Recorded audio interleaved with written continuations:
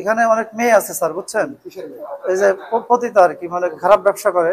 তো ওই সাইডে আছে রুমের ভিতরে তাদেরকে দিয়ে আমার ছবি তুলে আমার ফেসবুকে বিভিন্ন জায়গায় ছাড়িয়ে দেওয়ার কথা বলছে যদি আমি টাকা না দিই তাহলে জি স্যার। এই আলী সাজ্জাদ আর নয়ন সেসব মেয়েরা এখন ওই রুমে আছে স্যার আপনারা চেক করলে পাইতে পারেন আমি আমার এখান থেকে স্যার দুইটার সময় অনেক দূরে নিয়ে ছাড়িয়ে দিয়ে আসছে মোটর সাইকেলের উপর আমি চলে গেছি।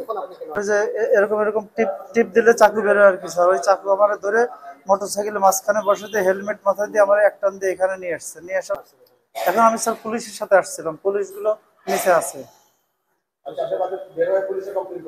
জি, আমি থানাতে, আমি স্যার, আমার আত্মীয় আছে ঢাকা তার মাধ্যমে আর কি কথা বলছিলাম। ওসি সাহেবের সাথে গেছি, ওসির সাথে গেছিলাম, সুরমা থানা গেছিলাম। সেখান থেকে ওসি সাহেব আমার আপনার ওই যে আপনার স্যার কদমতলি পুলিশ বাড়িতে পাঠাইছে সেখান থেকে এখন আমি সাতজন পুলিশ সহ আসছি আর কি। আপনাকে যে মহিলারা মেয়েরা থ্রেট করছিল ওরা কোন রুমে থাকে বা কয়জন স্যার ভিতরে আছে মহিলা তো স্যার অনেক থাকে কিন্তু আমার সেই মহিলারা থ্রেট করে নেই স্যার।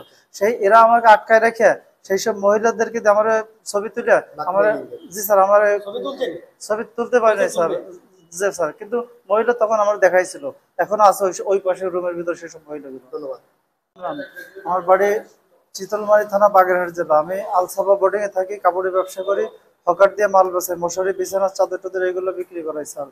তো ওখান থেকে আমি ঢাকা যাইতেছি স্যার, টাকার মাল আনার জন্য। গাউসে আমি ওখান থেকে মাল আনি স্যার।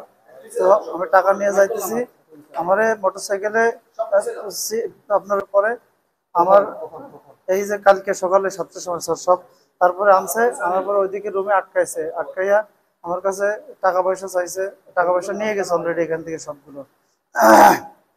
তারপরে আমারে আমার আটকায় রেখে আমার বাড়ির থেকেও টাকা আনছে সেই সব আমার ছেলের সাথে কথা বলছে। নয়ন নয়ন। স্যার আমি এখান এখানে এই জায়গাটা চিনি আর দেখলে আমি স্যার ঢাকা যাইতেছিলাম মাল আনতে। আমার সাথে আমার সাথে কাছ থেকে টাকা নিয়েছে স্যার টোটালে এক লক্ষ পঁচাশি হাজার টাকাতে। এক লক্ষ টাকা যে নিছে, এইটা শুধু আমার বাড়ির থেকে যে দেখেন স্যার, এইসব এজেন্ট নাম্বারে আলসাফা বোর্ডিং এর সামনের থেকে। এখানে আটকায়, এখানে আমি আটকায় রেখে আমার কাছ থেকে টাকা নিচ্ছে জি স্যার। জি স্যার। এটার নাম হচ্ছে স্যার, সবুজ বিপণী রেস্টুরেন্ট স্যার। তারপর রেস্ট হাউস তারপর আমার এটা ওই স্যার, ওই রুমটা হলো আপনার চার নাম্বার না কত নম্বর স্যার আমি রুমটা আমার স্যার সকালে সাতটার সময় তুলে আনছে রাত্রি দুইটার সময় ছাড়ছে জি স্যার। জি স্যার। আরও বলছে স্যার আমি যদি কারও কাছে মুখ খুলি তাহলে আমার সমস্যা হবে। এই নয়ন আলী আর সাজ্জাদ। আর তবু নামে একটা লোক sir ji sir ji sir. এই বোর্ডিং এর সঙ্গে তারা জড়িত। আর আমার যে বিকাশে যে টাকা আনছে এই যে এখানে যে এজেন্ট নাম্বার আছে স্যার এই নাম্বারেই টাকা আনছে এবং এই দেখেন এই যে কণ্ঠ শুনেন এই যে নয়নের কণ্ঠ স্যার সবকিছু। এই- এই নয়ন আমার ছেলের সাথে কথা বলে বলে টাকাগুলো আনছে।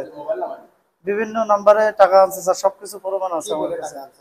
যে ঘটনাটা কইরা তাই। আমি জিনিসটা জানি না। আচ্ছা। আমি জানি না তারা যারা নাম বোঝে তারা জিগেল পাইবে না আমি তো আসলাম আসলাম জি। ইউনো তারা মেয়েরা আছে এইটা তো আর এটা কাস্টমার তো কাস্টমার যারা ব্যতীত আর আউট তো নেই। কাস্টমার মেয়েরাও আছে মানে এটা ফ্যামিলি তো বর্ডার পর্যটক যারা বেড়া ঘুরতে আয় তারা তো অবশ্যই। আবাসিক হোটেল না? এই যে অভিযুক্ত অভিযুক্ত যারা নামে দিছে এটা তারা লোক না পাইতে আমরা কইতে পারব না। আপনার হোটেলে তো ঘটনা ঘটছে।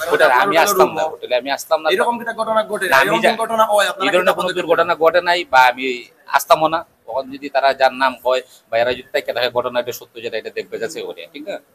আমি তো আর আসলাম না। আপনার মান সম্মান এটা তো অবশ্যই।